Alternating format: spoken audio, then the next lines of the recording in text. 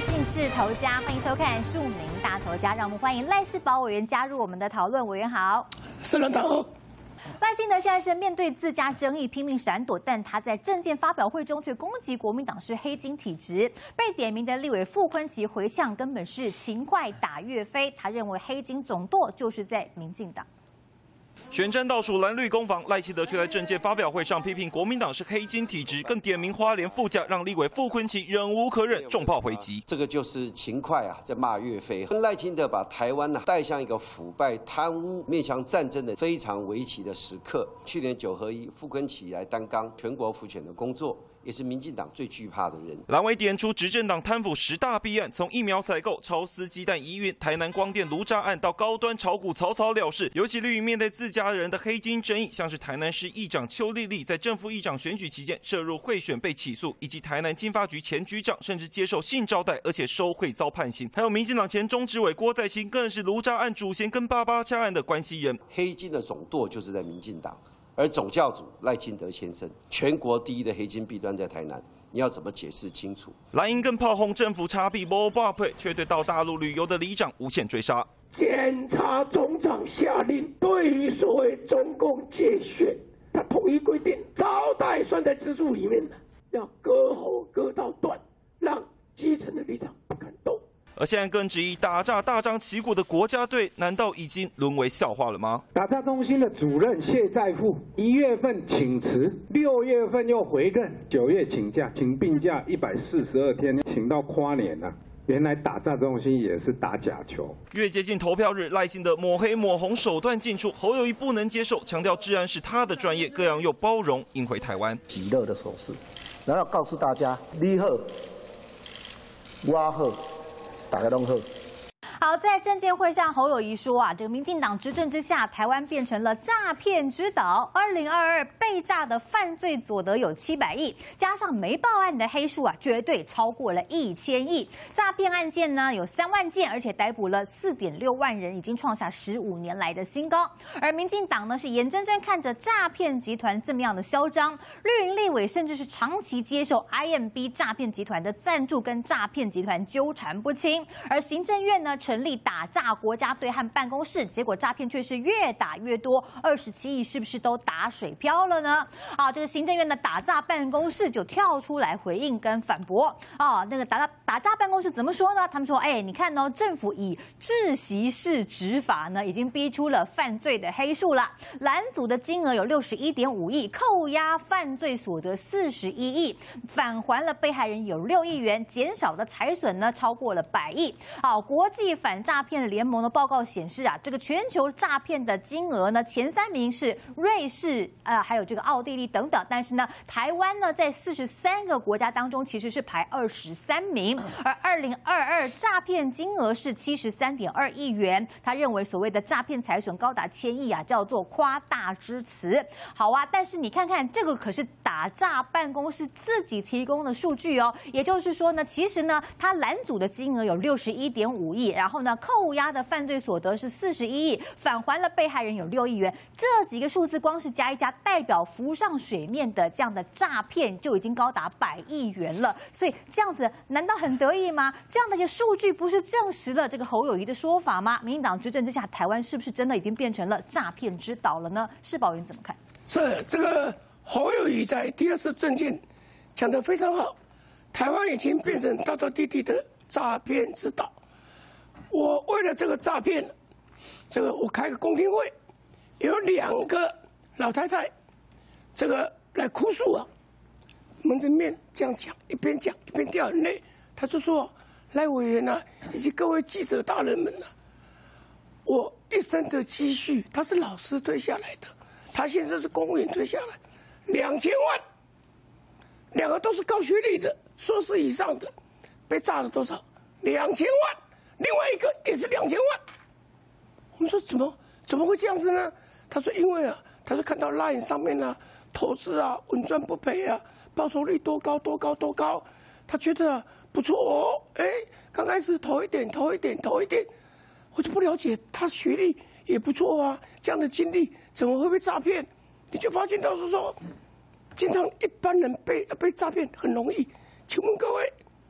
你没有接接过这些诈骗电话的比例有多少？有人统计过，不会高于 ten percent，就是百分之九十以上的台湾人都介绍过这个所谓的诈骗的一个电话或者诈骗的一个电讯。这个来讲的话，NCC 可以可以拦拦截，数发布可以拦截，金管我也可以拦截，怎么都这个样子呢？那我们再看，现在看到老百姓最气的是什么？他在讲讲说，哇，多了不起，多了不起，拦截了多少？那一天我有请政府的官员来，他就说啊，大概啊，你被诈骗的，比如说两千万，你心里就有个谱，你最多拿回来五八，也就是两千万，你。最可能拿到的最多最多大概就是一百万，那已经相当不错了。旷日费时，两千万就这样剩一百万，而且是很 lucky 的情况之下，老百姓最气的是什么？你成立了打诈办公室、打诈国家队，花了二十七亿，二十七亿这么多的钱，结果大部分拿去修房子，你的你的办公室厅舍弄得很漂亮，实际上呢，这个。来讲的话，你成效如何？有有抓到一些人是什么？车手啊，小弟抓一些，大官们没有。举例来讲，大家很痛恨的 IMB，这里面民进党立委介入，民进党高官介入，民进党在那里吃饭，在和在一起，你好我好，要哥俩好，这个事情都没都没有都没有去处理，所以可见的怎么样？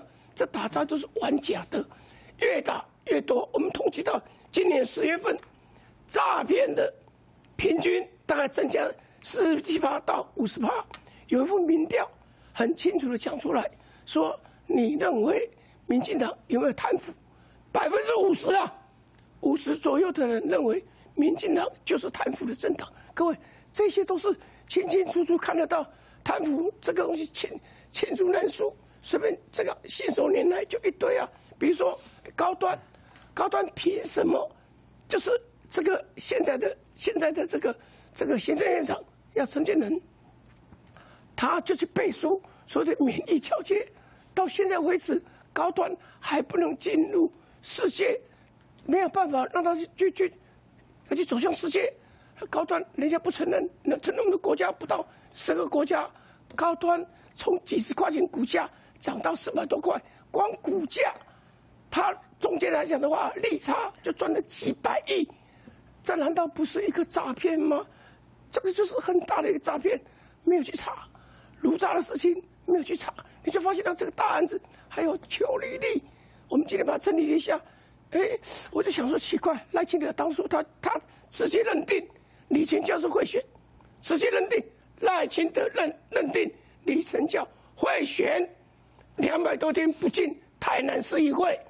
就像邱丽丽是检方认定他会选哦，黄伟哲照样去，照样向民意低头，照样要给他鞠躬做施政报告，这算哪门子的一个民主？所以赖清德，你就发现到他对自己都是非常宽松的，对别人非常的严格。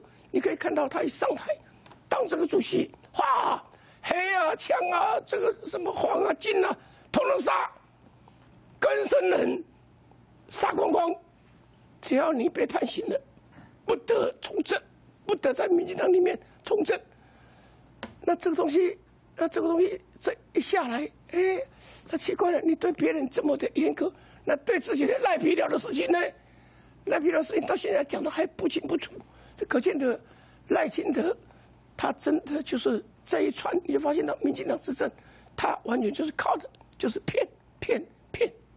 好，所以我们可以看到，行政院现在说政府很努力的在打诈，是不是也像委员说的是在骗呢？侯友谊的说法，难道真的是污蔑第一线人员的努力吗？我们看到现在又有最新的爆料了，调查局啊，在六月份的时候成立了一个打诈中心，这个打诈督导中心的主任呢叫做谢在富，结果他竟然被发现说上任不到两个月，从九月开始请假了，一路请到十二月三十一号，等于是整整请假一百四十二天，不需要上班。班呐。哎，打架不重要吗？为什么可以请这样一个长假呢？好，过去被认为是打诈要角的数发部被发现的人员都在出差，现在民众才发现，原来连打诈的督导中心竟然还可以一百四十几天群龙无首，这样像话吗？好，我们来看到啊，这个调查局的内部人士怎么说呢？调查局的人士就说啊，其实啊，这个打诈中心是一个很重要、很高阶的一个这个位置的组织啊，因为啊它统合整个局本部的科技处，还有北中南跨境四个外勤打诈中心以及六都的调查处，东东都是归这个打诈督导中心来调派了跟指挥的。结果这个谢在富呢，本来他一月已经辞掉了他原本的工作是台北市中山站的主任，结果呢，请辞之后，突然一下他又说他要复职回任了。结果果然呢，哎，当时消息一出，内部就议论纷纷。然后呢，他回任之后，很快的他就变成了打打诈中心的主任了。好，也有知情人士表示说，当初啊，这个人事总处啊，透过海选各界的金融防治还有司法侦办的精英，想要找出一个最适合领导打诈中心的人选。而这个谢在富呢，是辗转透过了新潮流系的人事牵线，才最终获得青睐。可是没有想到，才上任两个多月就开始请长假，这让基层真的是颇有微词啊。好啊，所以我们可以看到，这么重要的一个打诈中心，结果呢被发现群龙无首，可以直接请假一百四十二天，不需要来上班。难道是因为台南市长都可以这个两百多天不进议会，那一个这个打诈中心也不过就是请假一百四十二天没有来上班，这有什么了不起呢？汉庭怎么看？先说，我认为这个爆料，那应该就是在内部有人确实看不下去，凭什么你可以请假这么多天，然后身居高位啊？甚至呢，在爆料当中直指他就是透过心系人士牵线，好，所以很明显的应该也是派系之间的内斗。不过当然，这我们不管他，毕竟这件事情包饱受社会关注，而且民进党确实有所缺失。在警政署呢，今年公告说，五月开始，民进党我们就推出了所谓打诈纲领，但每个月的诈骗案件。数有增无减，在今年的十一月，诈骗案件就有三千五百七十九件，对比去年同期只有两千七百零一件。那你说一个月三千五百七十九件是什么概念呢？就是每一天就有一百一十九件的诈骗案件正在发生，每一天就有一百一十九件。这个数字光喊出来，你民进党都不觉得丢脸吗？民进党都不觉得羞愧吗？民进党都不觉得自己应该要检讨吗？当然，民进党现在告诉大家，哎，这个我们还是有很多。你看，我们拦阻了很多诈骗金额，这个数字是怎么来的呢？根据我们基层的观察，就是第一线的警方同仁备受压力，因为会被这些数字 KPI 追着跑。所以怎么办呢？好一点的状况是，只要有人询问，比如说，哎，请问警察，就这个网站是诈骗吗？这个简讯是诈骗吗？他只是一问，警警方就拜托，拜托，拜托，你来报案。你来报案啊，这样我就可以追查到说啊，我们拦阻到了多少的诈骗金额，这还是好一点的状况。坏一点的状况，警察实在被逼的没有办法的时候，警方会拜托各种亲朋好友，跟拜托所有的李明干嘛？拜托你把你收到的诈骗简讯，跟你网络上收到的诈骗讯息拿给我来当业绩，拜托你来报案。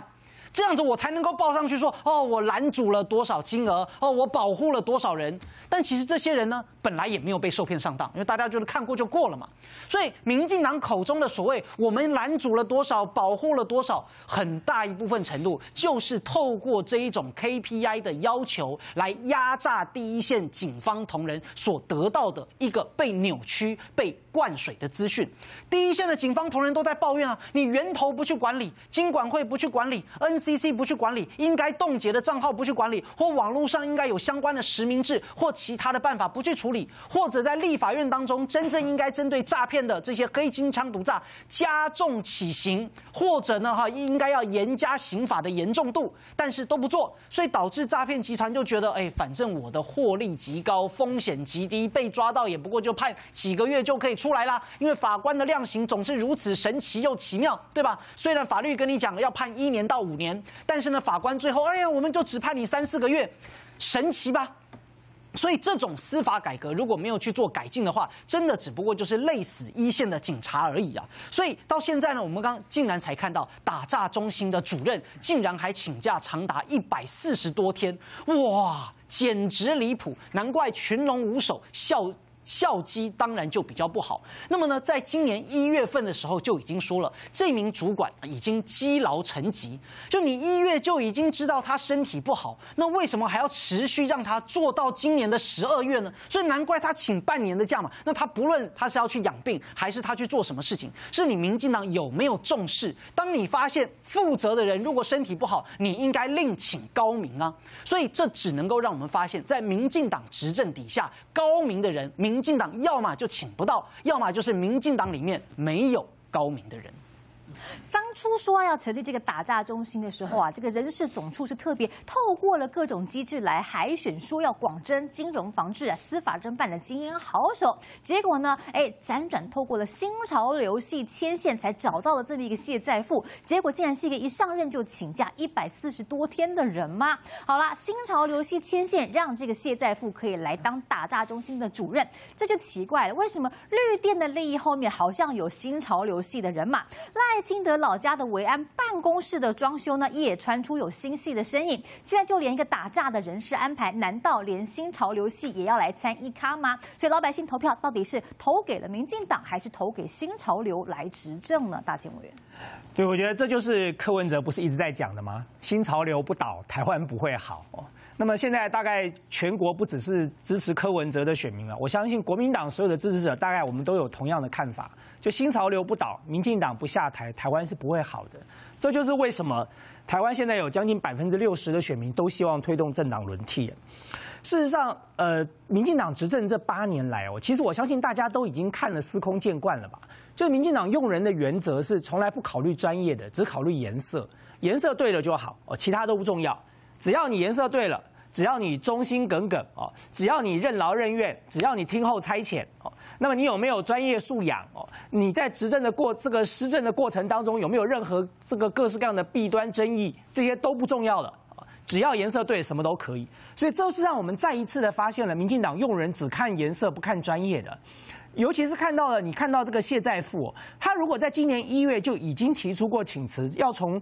呃，调查局台北的这个中山站主任的位置要请辞，那为什么忽然之间又可以回锅去担任了打诈中心的主任呢？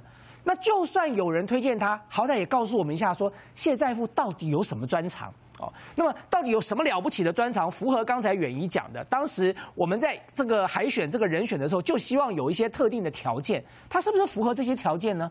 大家也没有在意这件事情了。然后接着你说接了这个位置之后。居然可以请假一百四十二天，大家知道这一百四十二天诈骗集团没有请假，哎，诈骗集团没有放假，诈骗集团每天还在很认真的诈骗当中。就像刚才汉庭提供提供给大家的数字吧，以台湾现在这样一一天至少要有一百一十九、一百二十件好了，所以一百四十二天里头，每天至少。现在我们可以看到数据的还有一百二十件，还不要讲那个没有看到数据的，就是被诈被诈骗之后，大家就这个自认倒霉了。这种情况还有很多的，所以诈骗集团在过去这一百四十二天并没有放假，他们没有放年假，没有放长假，他们没有到处出国去旅游，他们还在诈骗。那台湾呢？我们就不用打诈就对了。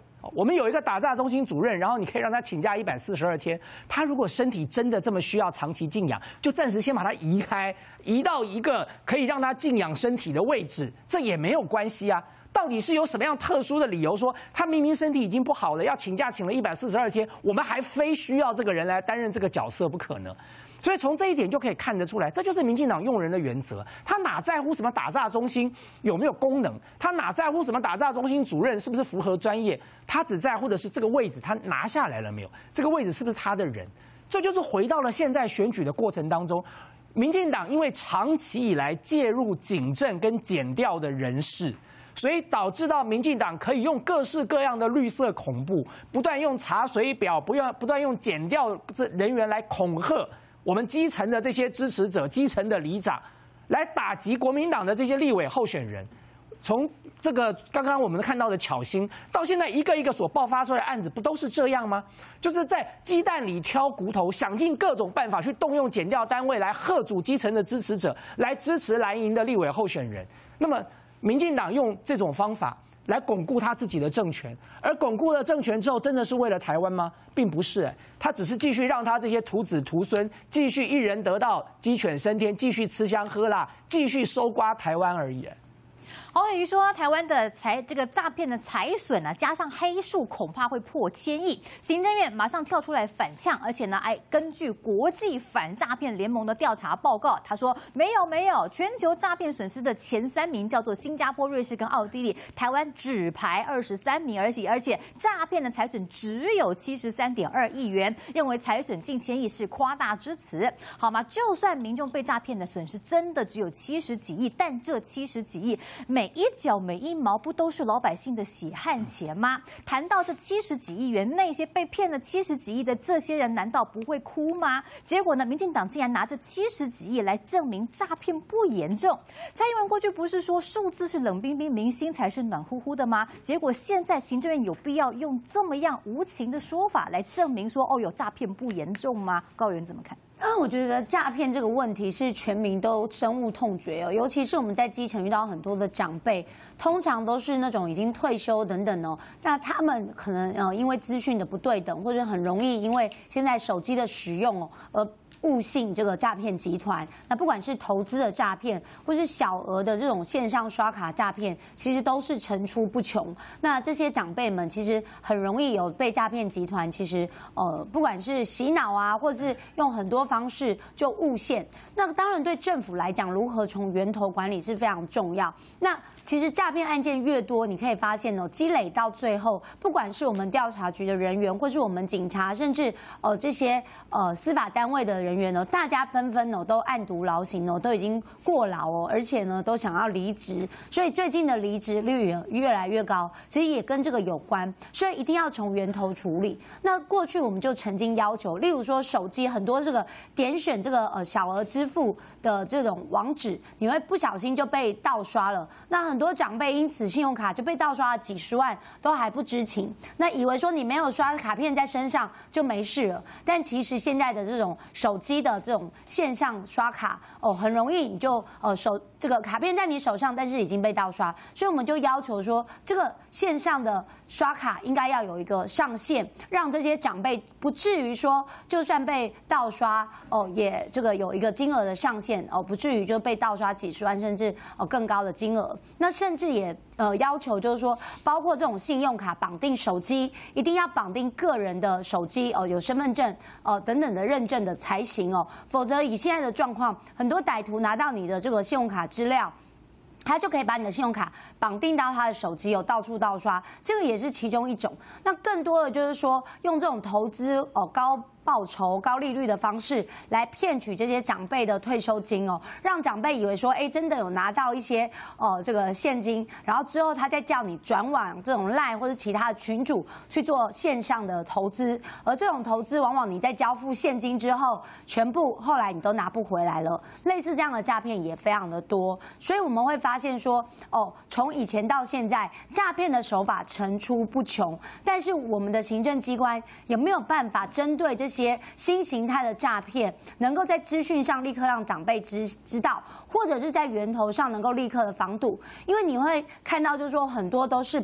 哦，不管是银行或者是内神通外鬼，把这些长辈的个资等等，就直接让诈骗集团非常轻易的取得。所以，呃，很多长辈接到诈骗集团电话，都会觉得说是真的，因为他非常清楚你的个资，你所手上的资讯，而这些通常是内部人员才有。所以，其实从诈骗，包括个资，包括这些呃机密的资料的保护等等，这些都是环环相扣的。呃，诈骗集团可以这么猖獗，当然就是跟我们的各资呃这些相关资料没有做好保存，然后让诈骗集团可以互相勾结勾串，然后去诈骗也都有关系。所以整个是千丝万缕哦。那我觉得说对政府来讲，最重要的工作绝对是打诈，而这个也是全民最关心的。所以过去我们也修法加重这个呃诈骗的刑责，但是问题是很多诈骗集团的主谋都是在国外，那在台湾你抓到通常都是年轻的车。